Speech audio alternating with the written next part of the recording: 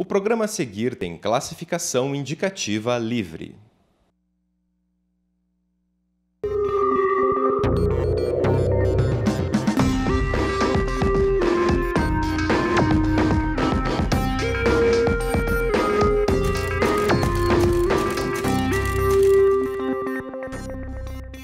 Olá, quarta-feira, 24 de maio. A FR Notícias está no ar.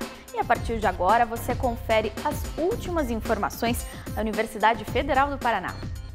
Facilitar o acesso ao conhecimento para alunos da rede pública de ensino que não têm condições de pagar pelo material de aula e ainda promover solidariedade. Esse belo trabalho está sendo realizado por um grupo de estudantes de engenharia da UFPR e de uma maneira inteligente. Confira a reportagem. A Jaqueline, o Ademir, o Gabriel e o Raul são estudantes do curso de Engenharia Civil da UFPR. E durante uma atividade da disciplina de Gerenciamento de Projetos, eles idealizaram a construção de uma ponte solidária para levar conhecimento a alunos do ensino médio e fundamental de primeira, a gente não queria apenas fazer uma arrecadação ou arranjar alguma coisa para doar para as pessoas. A gente queria também ajudar e, e, que esse projeto tivesse continuidade. Muitos estudantes não teriam a, a oportunidade de ter esse material que a gente teve, por exemplo, que a maioria dos alunos de engenharia estudou num cursinho particular e tal, e a gente observou essa necessidade de que não, não existe esse material bom para as escolas públicas e as escolas mais carentes. E assim como todo bom projeto de engenharia, os estudantes fizeram um planejamento para executar o trabalho, chegando aos alunos mais necessitados.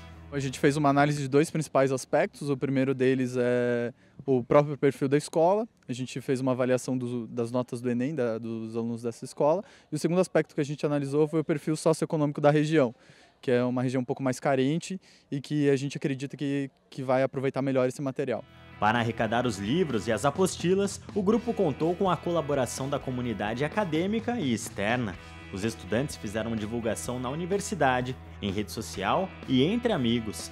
Em três meses, o projeto Recicle Conhecimento conseguiu juntar materiais para atender 16 alunos. Normalmente os kits têm entre 7 ou 11 livros e eles abrangem todo o conteúdo de todas as disciplinas e é o, o material de estudo para o ano inteiro. O projeto ganhou proporções muito grandes e a gente está vendo que a gente está procurando já uma segunda escola para mais alunos serem beneficiados. Então a gente tem mais ou menos uns 20, 20 e poucos kits em que a gente pode ajudar esses alunos, além do material que a gente vai doar para a escola, que pode ficar lá para consulta de todos os outros alunos e dos professores. Nessa terça-feira, o grupo fez a entrega dos livros para os primeiros alunos beneficiados pelo projeto.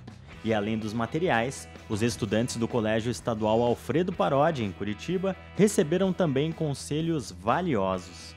A gente quer conversar com eles, ensinar eles a usar e incentivar eles a realmente buscar um futuro melhor e passar no vestibular e ter uma carreira. Bacana. Hoje, quarta-feira, é o último dia para se candidatar ao mestrado em Segurança Alimentar e Nutricional. Ao todo, são 21 vagas e o processo é dividido em três etapas. Para fazer a inscrição, é necessário cadastrar os documentos no portal Siga e apresentar o resultado do exame de proficiência em língua inglesa realizado nos últimos dois anos. O foco principal das linhas de pesquisa dessa pós-graduação é promover a saúde, a prevenção de doenças e o desenvolvimento do profissional da área. As informações completas você encontra no portal da universidade um grupo de pesquisadores da UFPR, em conjunto com outras instituições, encontrou fósseis de cerca de 40 milhões de anos nas proximidades de Curitiba. Os achados ficam na formação geológica do Guabirotuba, na divisão da capital com Araucária. Entre os fósseis estão dentes e fragmentos ósseos de 14 novas espécies de animais, sendo que algumas delas não possuem semelhança com nenhum grupo atual. Segundo Fernando Sedor, um dos coordenadores da pesquisa, os resultados são inéditos em nível nacional. Uma das coisas extremamente relevantes é que esta fauna ela é única no Brasil. Até o presente nós não tínhamos nenhuma fauna com esta idade né, no território brasileiro. E mesmo na América do Sul, são poucas as localidades que têm uma fauna semelhante. O conjunto de animais encontrado é bastante diverso e tem representantes de anfíbios, peixes, crocodilianos, aves gigantes e mamíferos. Os primeiros fósseis da região foram encontrados há seis anos. Para fazer a estimativa da idade dos achados, a equipe passou por um extenso trabalho tanto em campo quanto em laboratório. Através da, das estruturas que a gente vê nos sedimentos, das formas de canais, das formas de planícies, das formas de camadas planas de lagos, a gente consegue identificar o ambiente e correlacionar com os animais e ir fazendo essa é, remontagem da história do ambiente que ocorreu há 40 milhões de anos atrás. O projeto foi financiado pelo CNPq e envolveu biólogos, paleontólogos, geólogos e uma desenhista. A pesquisa resultou na publicação de um artigo em uma revista conceituada na área de evolução dos mamíferos, a Journal of Mammalian Evolution, e também na apresentação dos primeiros resultados em um congresso internacional. Em 2014, a gente apresentou no congresso internacional que aconteceu em Mendoza é, os, os primeiros resultados preliminares em relação à fauna do Gabirutuba. Lá, sim, envolveu, além dos mamíferos, foi apresentado uma ave, um crocodiliano e os e répteis, né? Então foi apresentada toda a fauna. Agora, além de continuar com os estudos, a equipe quer proteger esse espaço com tanta importância histórica. Em conjunto com a Secretaria Municipal de Meio Ambiente, os pesquisadores pretendem transformar o afloramento do Guabirutuba em uma área de conservação reservada para pesquisa científica. Fique agora com a previsão do tempo, que promete temperaturas mais amenas, pelo menos em comparação com os últimos dias.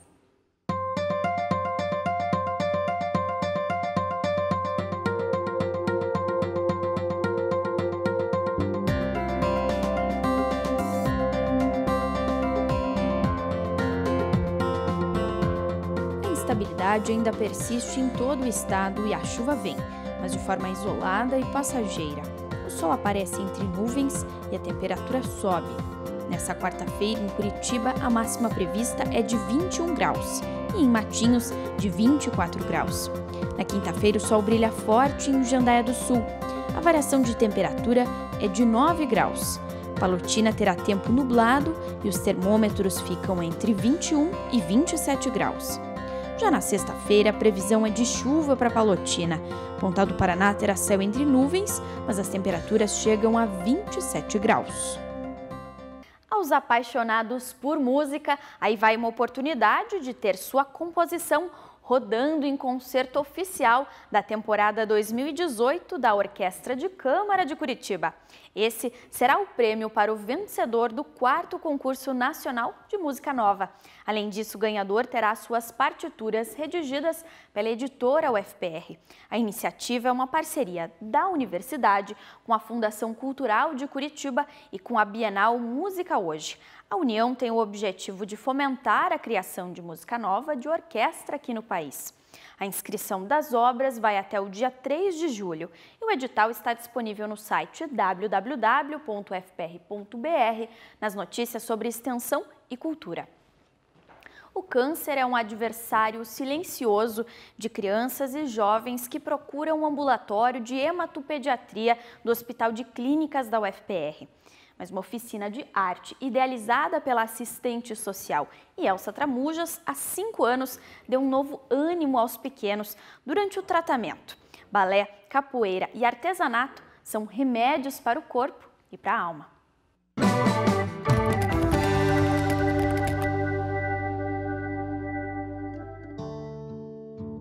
Elza Tramujas é assistente social no Hospital das Clínicas da Universidade Federal do Paraná.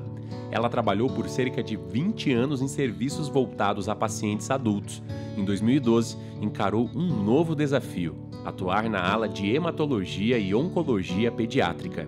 O trabalho do, do, do, assistente social aqui é muito voltado para questões de direitos do paciente, é cadastrar os pacientes aqui, fazer encaminhamentos, ver toda a questão, toda a problemática que envolve a questão de é, se descobrir um diagnóstico de câncer em uma criança e tudo isso que modifica na vida dos familiares, é, da própria criança, né?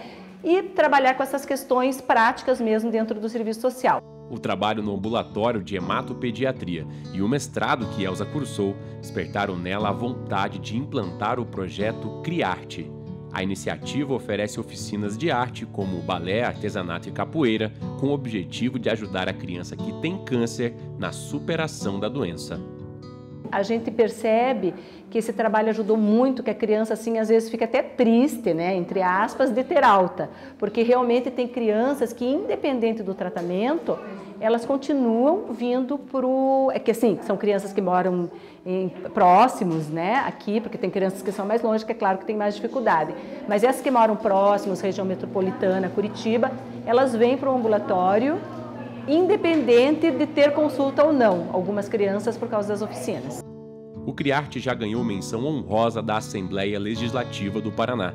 Seu sucesso se deve também às famílias das crianças e aos funcionários que se envolvem nas atividades. E Elza define que o projeto exige um olhar diferente daqueles que participam. E que não é só aquela questão de você estar tá ali para fazer, sabe, ficar atrás de uma mesa e trabalhar ali fazendo questões burocráticas, que também tem essa demanda, mas que você pode muito mais além disso. Eu acho que daí você consegue trabalhar com o coração junto e que você consegue fazer muito mais pelo paciente quando você tem esse envolvimento, essa maturidade para para dar esse apoio né, para a família, para as crianças, no momento que elas precisam tanto. Para o projeto Criarte acontecer, Elza contou com o apoio de alguns parceiros, como a Associação Paranaense de Apoio à Criança com Neoplasia, que cedeu um espaço para a realização das atividades, e a Universidade Federal do Paraná. As pessoas que atuam aqui enquanto servidores, né, funcionários, são da universidade e tem também fundação, né, que atua aqui, mas sem essa parceria, sem essa integração, realmente nada disso seria possível. Então, tem esse sentimento de agradecimento para todos que se envolvem e que colaboram de uma certa maneira.